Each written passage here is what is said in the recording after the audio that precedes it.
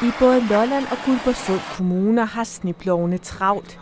En af dem, der mærker det, er Jens Andersen, der på sin rute kommer rundt på Hasselø, Bøtte, Idestrup og Marieløst. Det er dog ikke alle, der møder sniploven med lige stor begejstring, fortæller han. Bilisternes tålmodighed, den er ikke ret stor, når man kommer med sådan en sneplov. Det er sådan set en af de store problemer, der er. Der er ikke noget med, at folk venter lidt og tænker på, om det var måske mere smart at få sneploven til at køre først. Og så kører de fast foran os, og så, så hænger vi der selv, fordi vi ikke kan komme frem.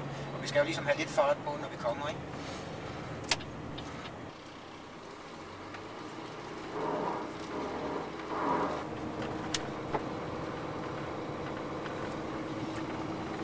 Noget af det, der næsten øh, var det værste sidste år, det var jo bedst som om vi havde ryddet op i vejene, og de var blevet sorte. Så startede det forfra igen jo. Kunne godt tære lidt på kræfterne indimellem. Ja. Okay, okay. Der har jo ikke rigtig været noget sådan sne i mange år jo. Før nu her som sidste år. Men øh, nu må vi jo se, hvad det her det tegner jo. Fordi det er jo startet noget tidligere i år jo. Jeg tror, det var den 17. december, det startede sidste år eller sådan noget.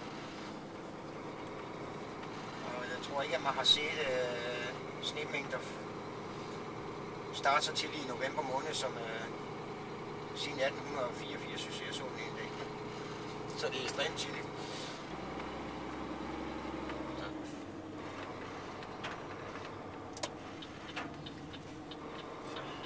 Når det sner, som det gør nu, ved Jens Andersen aldrig rigtigt, hvor lang hans dag bliver.